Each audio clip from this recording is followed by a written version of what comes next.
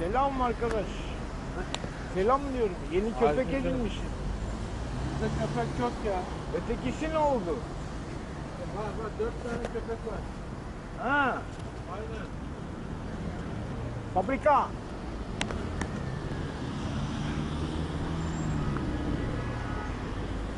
Köpek çiftliği var adamın. Uzak dur boklarınla evimin önünden.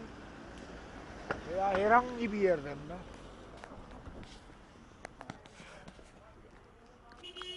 Sene oldu sene. Her zaman geliyordu bizim oraya köpeğiyle. Sene oldu köpeksiz. Şimdi yeniden. Evet.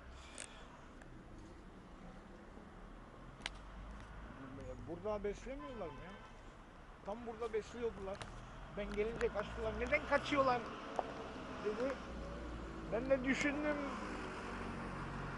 Karaköy'den gelen balık kokusu çürümüştür diye düşündüm. Adama bak be. Dört tane köpeği var. Dört köpek besliyor. O pahalılardan cins tanesi 10 bin dolar.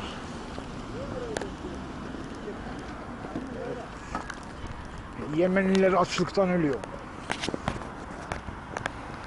Kere bütün gün koşturmak için, o hayvanları beslemek için, onları satın almak için para nereden lan? Komşunun çocuğu geçti. Arabasında yanından neredeyse. Boruyu tadilat ettikten sonra. Gözlerinde gözlük var. Gözlerin bozuk mu? Aynen abi diyor. Toksoplazma sahi göz bozukluğuna neden oluyordu be.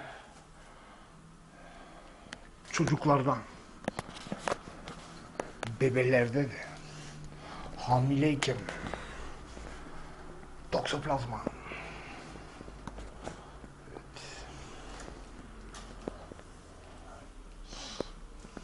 Şık çocuk. Bütün hayatı boyunca gözlükle uğraşacak. Niçin? Oo. Şeytana taptığınız için. Eskiye göre ekmek falan almam rahat geçti diyebilirim.